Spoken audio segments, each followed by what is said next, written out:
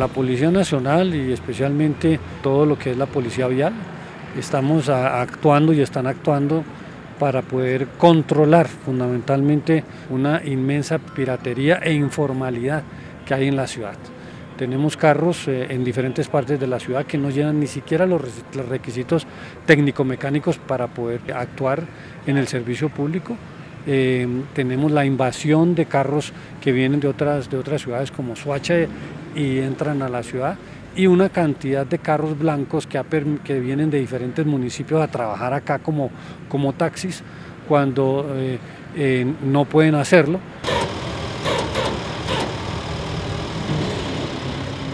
El centro lo tiene monopolizado esa gente. Y así hubiera sido en todas las zonas de la ciudad. Claro, en el Quintal es grave esta piratería. está acabando con el trabajo del taxi. Si nosotros no nos unimos para combatir la delincuencia y la piratería, no vamos a llegar a ningún lado solamente peleando y bloqueando. No, la forma es saliendo avante unos con otros y así lograremos un objetivo.